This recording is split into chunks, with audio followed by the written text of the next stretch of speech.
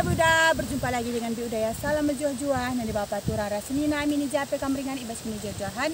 Mari kita semua. Semoga hari ini kita dalam keadaan sehat dan rezeki yang melimpah. Amin. Ini uh, Pak Uda ke ladangnya Sobat Buddha karena Bapak pun masih kurang sehat jadi dia belum bisa pergi ke tempat kerja ya Sobat Buddha. Jadi sini kita mau bongkar lah bubuk kita ini.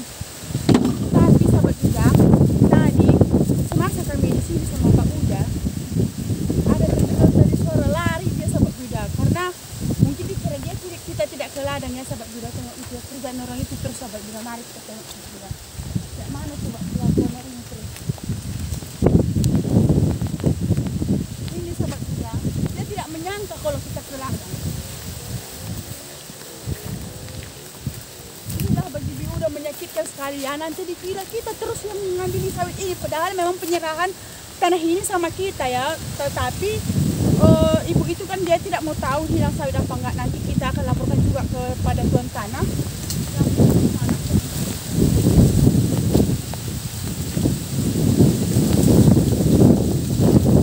dan yang tadi Pak udah mau kejar ya sobat Buddha tapi dia udah tidak bolehkan karena kita tidak eh, tengok ini sampai bersentuhan semua ha.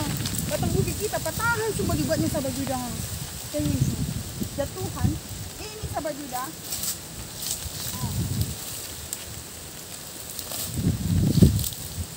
Suka ni kiam.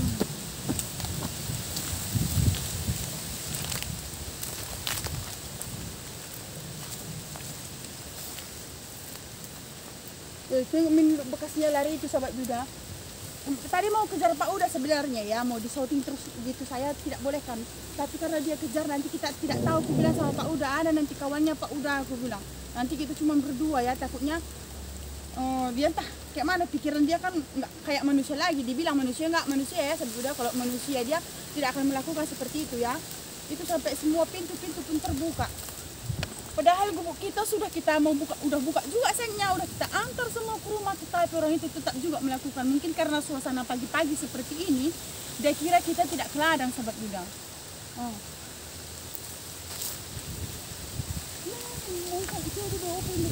Ada.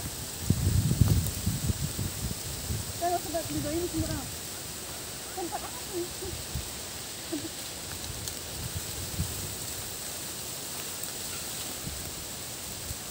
Kain.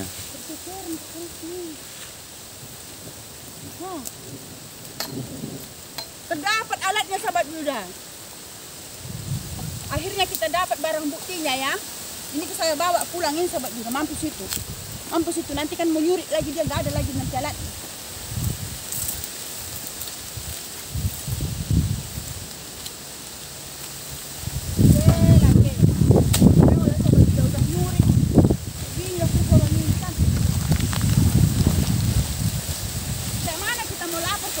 Seperti ini sahabat tidak kayak ini lah ke polisi bukannya kayak mana ada yang juga yang baru kita bisa lapor polisi kalau nggak mana open pulangnya orang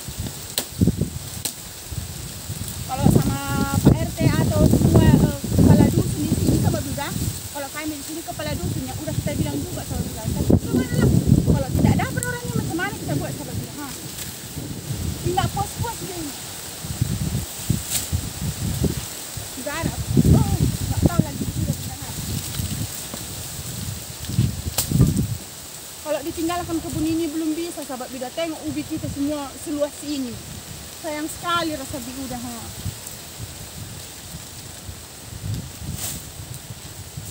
Rusak karena duduk semua. Tidak rasanya. apa pun ceritanya saya bawa ini pulang alat ini Mampus, tenang.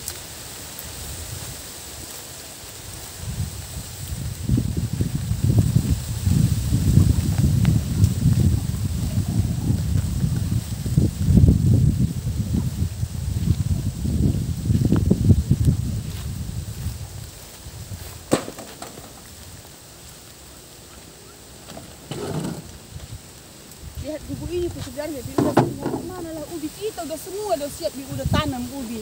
Kalau kebun ini belum di udah tinggalkan sama udah sayang sekali. Apalagi ini ha, bertumbuh ilmunya harusnya di udah bersihkanlah semua ini. Tetapi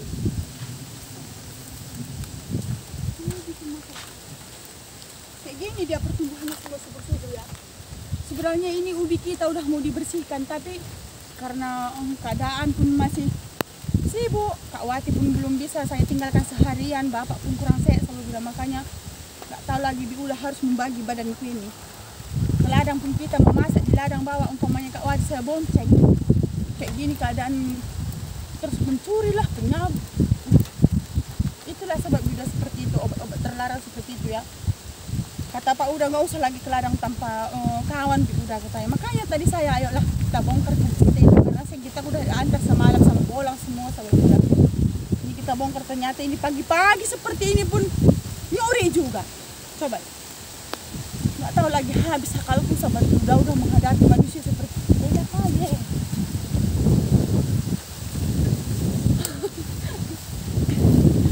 Udah kalau nampak putih-putih seperti ini nanti udah lain perasaan Bi Uda ya. Uh, Bi Uda tidak perlu sebutkan sebab Bi Uda udah saya pikir tadi tahap apa bisa pula saya nanti kayak mendadak kan. Hmm. Ini sampah-sampahnya dia rokok-rokoknya semua. Tak lagi sampai udah. Biarlah ini kita alatnya kita bawa pulang barang buktinya nanti dia nanti mau nyuri. Upek habis mau dipanen ini. Ha. Padahal itu penyerahan dari Tuhan sama kita. Kak.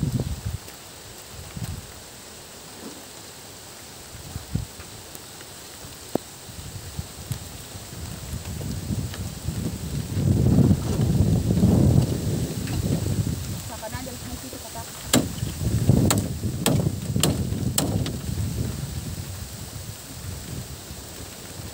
Andi mau berarti film apa cepi memang? Ini lah.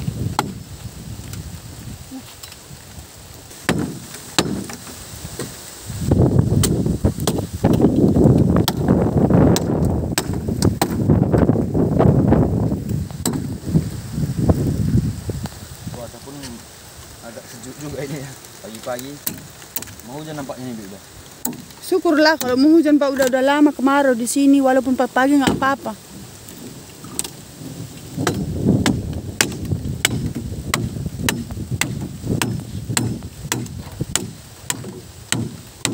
Kita bongkar ini sebab udah bawa pulang kata Pak Uda kan. Biar nggak bisa lagi tempat duduk santainya kata Pak Uda. Kita gunakanlah nanti kayu bakar lah apalah di rumah sebab bilang. Munggil ke karikat ne bapak minda. Mudah kalau begah grade nandai.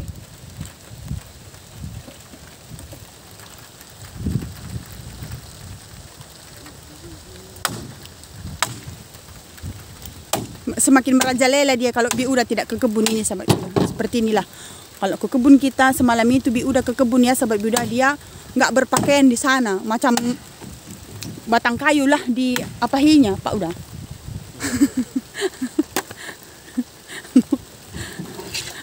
Na atak na di Bruna batang kayu.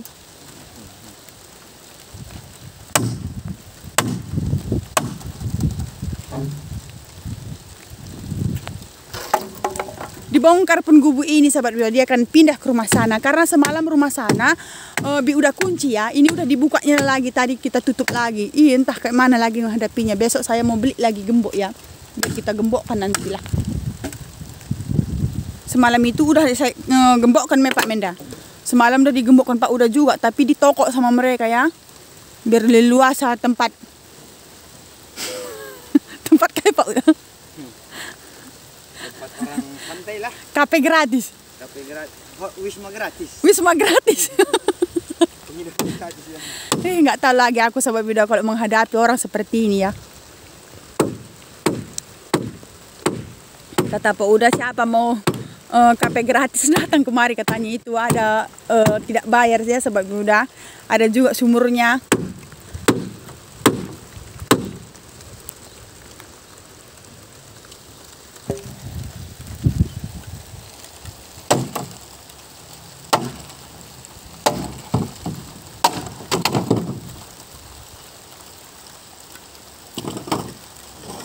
Sebenarnya tadi Pak udah udah naik tensi ya sebab udah mau dikejarnya tadi. Tapi takut kali aku nanti itu ada kawannya sebab udah dia biasanya seperti itu ya. Ada yang menunggu lagi duduk-duduk yang melakukan yang tidak baik ya sebab udah nanti sebagian ada yang kerja gitu. Dan nanti dia menjual. Beli itu juga sebab udah bukan untuk anaknya memang. Bukan untuk anaknya. Eh, kalau biasa itu kadang ada orang mencuri untuk keluarganya itu masih eh, syukur ya sahabat Buddha. Ini bukan untuk anaknya, bukan. Untuk perempuan yang nggak bagus atau yang beli obat yang obat terlarang gitu sahabat Buddha.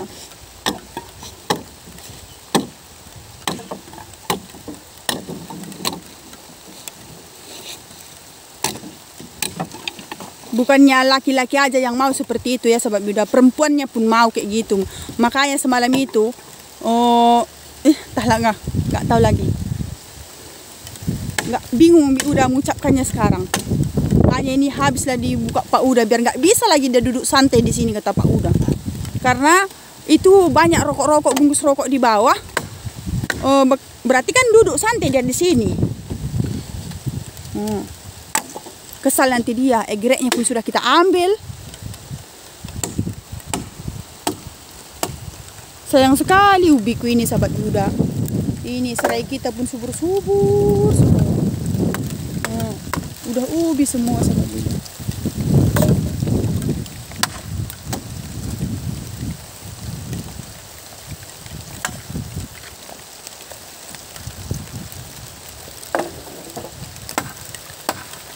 itu ubi kecil-kecil kita semua sih. Oh.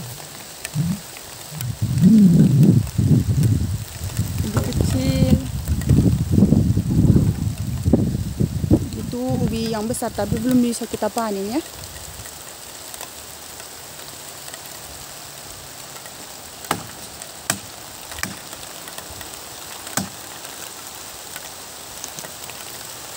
Udah, udah hujan deras. Mana pula?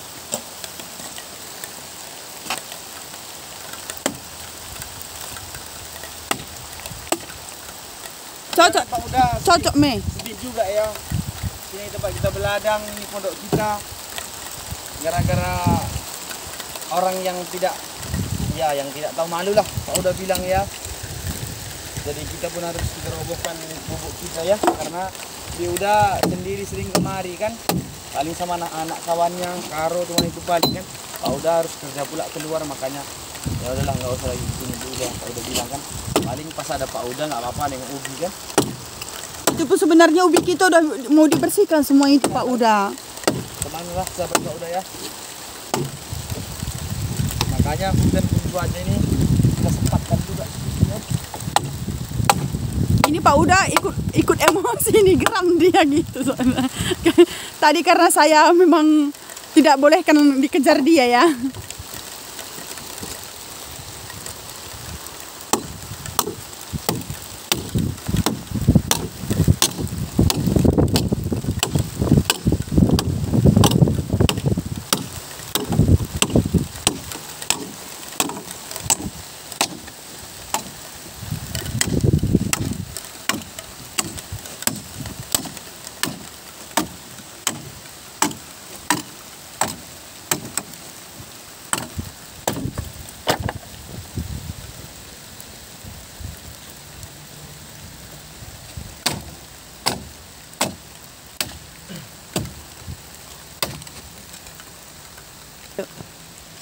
mendal dia ya kena kaki Pak udah nih terasa juga.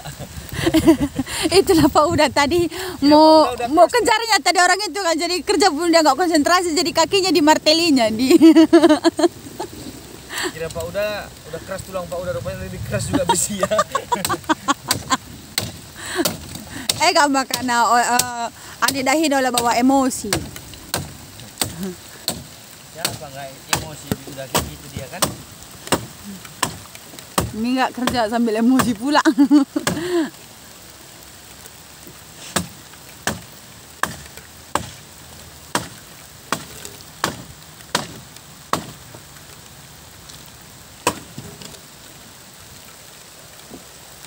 Nah ini hujan-hujan Pak udah terus ini kerjakannya ini.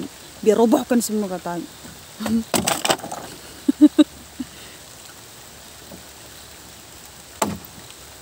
Biar aja itu Pak udah nanti kan tempat ayunannya. Mana tahu dia nanti mau ayunkan perempuan itu. boleh boleh Itulah sahabat Buddha. aku bilang sama Pak Uda jangan mau ikut-ikutan yang nggak memikirkan keluarganya karena itu bukan dipikirkannya lagi anak istrinya di rumah. Kalau kerjaan kayak gitu sobat Buddha, dia mau banyak istri.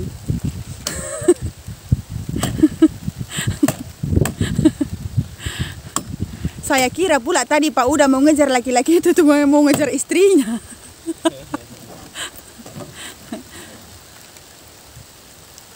Karena yang dibawa dia itu eh, anak-anak tanggung ah memang. Lah. Semangat dong. Mungkin mana tahu Pak tahu Pak kan kemungkinan. Kenapa pula Pak Uda tahu pikirku Ya, pula kan, mana tahu. Berarti kawan Pak Uda lah kan itu. Tahu pula Pak Uda kan. Apa kayu nenek kita ke rumah bang? Oh kayunya pun kita bawa ke rumah kata Pak Uda ya sobatku. Kayu mata air nanti. Sudah sampai di sini dulu video kita untuk hari ini dan ingat jangan ada kata lelah dalam setiap pekerjaan apa pun mari tetap semangat sekian dulu salam johor sampai jumpa sahabat Buddha di udah tutup dulu lah pintunya ya sahabat Buddha karena yang punya eh, tanah ini sangat baik sama kami sahabat Buddha. Kadang kita mau ngambil sawitnya pun nanti kita bagi duakan uangnya pun sama dia mau dia sahabat Buddha seperti baik kali orang sahabat Buddha ibu itu ya. Bukan memang baiklah orangnya kalau buat dia udah ya sahabat semua jadi kita iya aku balik basikin bapak Minda. Apa pun ceritanya itu lah kakak kalau segini dulu tuh pintu eh? Ya aku nggak berani sama Minda kalau nggak pa- parang. Nggak pintu itu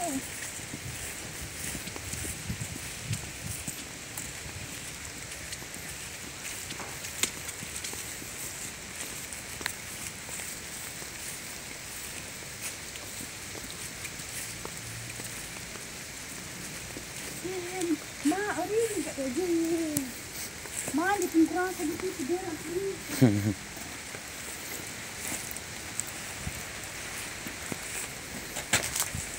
Nanti biar digembok. Udah nanti kan gembok nanti.